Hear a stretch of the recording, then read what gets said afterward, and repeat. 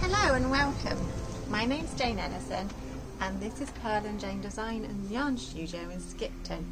This is where I usually hold workshops. Today I'm going to show you a few professional finishing techniques. I have been designing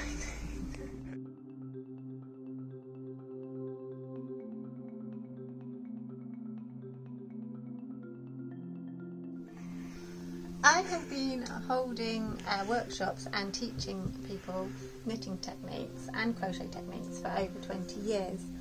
It's something I love doing. So here I have a back and I've put all the stitches on a needle. So in a pattern this would say cast off like shape shoulders, cast off so many each side and then cast off the middle bit or leave the middle bit on a holder. What I'm saying is just ignore that instruction and leave all the stitches on a needle. And then for the front, you do have lots of ends everywhere so it can sort of like feel like it's getting a bit crazy. For the front, where it says cast off for the shoulders, leave them on a needle as well. So this has been left on a bit of yarn and then these are on a needle and the needle is pointing in the same direction as the needle on the back. So you've got the side edges and you've got the two needles both pointing in the same direction. And so now I'll show you how to graft these shoulders together. And by doing that, we're going to do one cast off edge, which will eliminate two cast off and then sewing together and it will create a really nice smooth seam. So you have stitches on one needle which is your back shoulder and then stitches on another needle which is your front and you treat these as if they're one. So from now on you think all these stitches on the back and all the stitches on the front are the same. So you take your third needle and you go into the first stitch on the first needle and the first stitch on the second needle. And then you knit those two stitches. So we've got our stitch on that needle. And you take these two stitches off because we've just knitted them. You then do the same again. You go into the first stitch on the first needle and the first stitch on the second needle you knit them and you take them off. And there you have two stitches on your right hand needle. You're now going to cast these off because what we're doing is we're knitting them together and casting off as we go. So you just take the first stitch over the second. And then you continue. So first stitch first stitch on first needle first stitch on second needle knit take off cast off. First,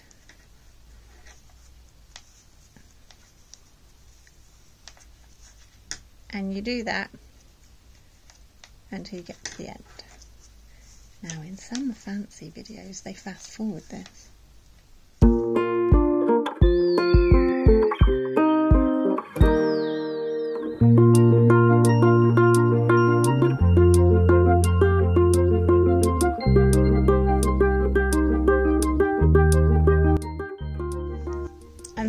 As you get to the end. And that last stitch.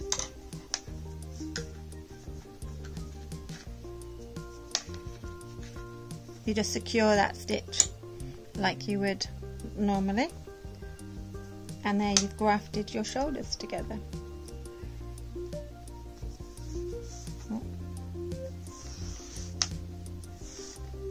Find the uh, end and you find that you've got a nice smooth seam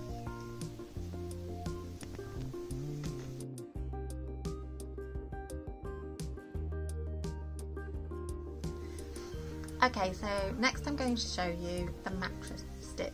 This is a fun and magical way of joining seams together.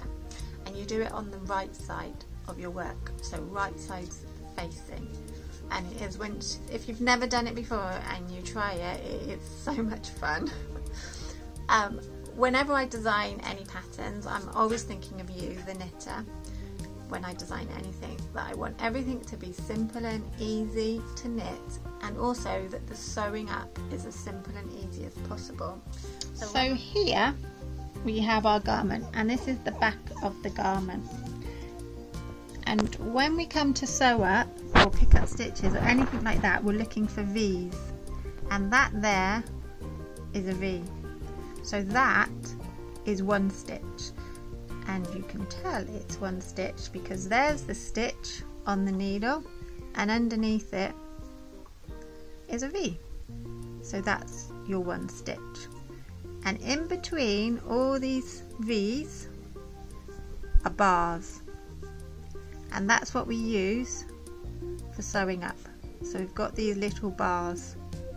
So we have our V we have our bars and we have our another V.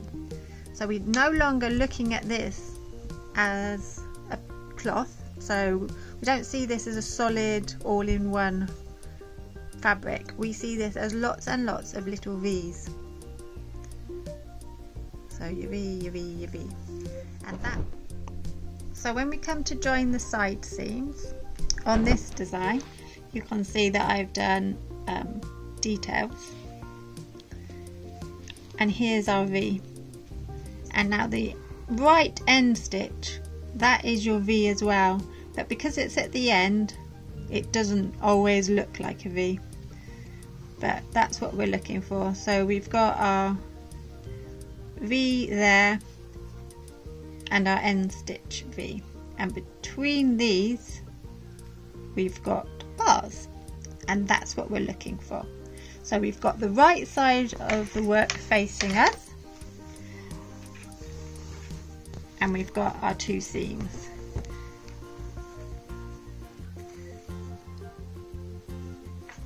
And we want the right side of the work. So we're doing this all on the right side of the work the other thing you do is you don't use your tail because what we do with mattress stitch is we pull. And if we use our tail and we start pulling up we don't get a nice flat seam. So what we want to do is start on the edge that's the opposite side to where the tail is because then we can secure our ends together. So you go in to the very edge. And you go up two bars. So there's your V there's your V there's two bars and there's your edge V.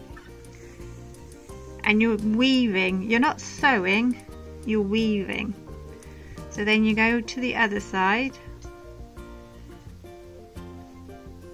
And up. Oopsie. Bit tricky sometimes to find the end stitch and then you're going up. So we've got two bars there. We've got our V stitch there.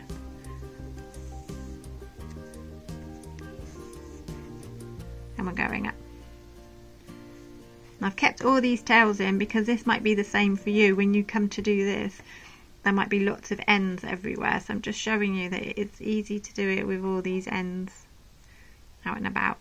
So now what we do is we go into the same stitch or the same bar that we've come out of. So you can see there that, that green's coming out of there. So you go in and up two bars. So we're zigzagging backwards and forwards.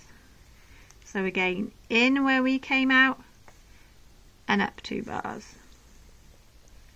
In where we came out and up two bars. In where we came out and up two bars.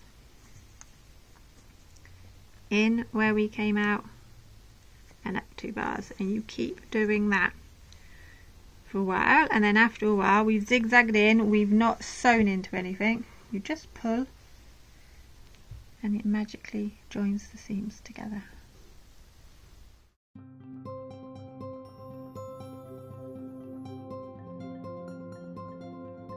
Okay, the next thing I'm going to show you is picking up stitches around the neck. Um, before you do this, you need to set up the line for picking up your stitches. So like I showed you for the mattress stitch where you have a nice V along the edge, that's the same with picking up stitches around the neck. So if the thought of picking up stitches around your neck makes you shudder and you think, oh, I hate picking up stitches around the neck, I will agree with you if you decrease your stitches right at the end of the neck edge because to pick up stitches around there is a nightmare. It is not enjoyable to do and it is not fun. But if you do your decreases one stitch in from the edge, then it can be enjoyable and it is very much fun. the decreasing has been done two stitches in from the edge. So as I showed you on the other garment, that was one stitch in. This um, decreasing has been done two stitches in. And on this side, it's your knit two together. And on this side, it's your slip one, knit one, pass slip stitch over. So by doing that away from the edge, you get your nice edge coming to make it more enjoyable to pick up your stitches. So I'll just turn this around so you can see. But this is a bit like um, when you're looking for the bars, when you're um, doing a mattress stitch. So you have your V there, and you have your V there, and you're looking for these bars. So the bars are what you're going to use. So you're going to go between two stitches. So between the two V's and between the bars. And you go you're going to go into every single one four times. You'll then miss one and you'll go into the next four stitches. Now for some reason, I'm sure there's a mathematical reason, but this makes a very nice smooth edge because we've all got different row tensions. When a pattern is written to tell you to pick up so many stitches it depends on that designer or that knitter's row tension. So if you have a slightly different row tension your edging is going to look tighter or looser, so it might frill, than the one in the picture. By doing this four, you get a really nice smooth edge to your row tension. So here we've got four, so I'm going to miss the next one and then go into that one. So one, two, three, four. Missed that one. So I'm looking for my V. So I'm missing this one, that's where I would go in, and I'm going to go in that one.